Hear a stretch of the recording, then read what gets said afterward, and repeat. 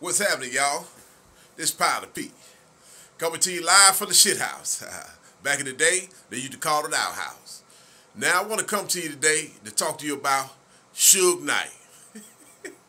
now, I understand that Suge was trying to get away from some cats who tried to take his life. I can dig that. But now, what Powder Pete don't understand is, how in the hell can you put your car in reverse, run over a nigga, and you got forward and you got backwards to get your ass out of Dodge, but you choose to run back over the nigga and hit another motherfucker. I don't understand that shit, man. You know, maybe public, y'all can explain that shit to Powder Pete, you know, because that shit was crazy as hell to me. I don't understand, you know.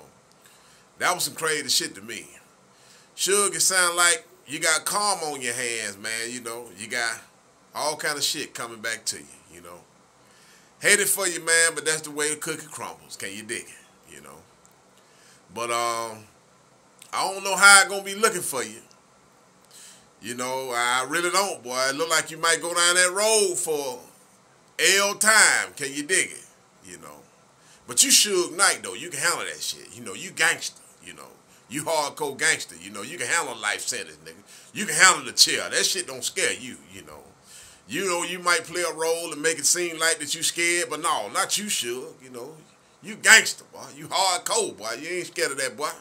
You'll take that lethal injection, boy. You'll take some of that juice today if you could. You ain't scared of death, boy. I know you ain't, boy. I know you ain't sure. but your ass sure didn't look like you were crying and you getting sick, nigga. You got sick as hell in that courtroom, boy. When they had you for murder, you got sick as hell, boy. You were looking sick, don't lost weight and everything. boy, I tell you, boy, y'all niggas kill me, boy. Y'all want to be gangsters, but when the consequences come against your ass, y'all can't handle it. So just like they say back in the day, if the kitchen hot, get your ass out the kitchen till you dig it.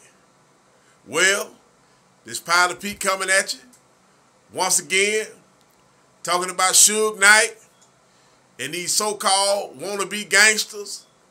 when they get in trouble, they start crying. Just like Snoop Dogg. Boy, I remember you, Snoop, boy. Snoop Dogg, boy, you a hardcore gangster, boy. But when them folk tried to get you for murder, boy, you crying like hell, boy. You were losing weight you ain't even have. Knowing damn well, boy, if you lost some more pounds, your ass would have died, nigga. Because you were damn near a broomstick when you went to trial. Can you dig it? And like I always say, before I leave, I'm through shitting, so I'm through talking. Peace.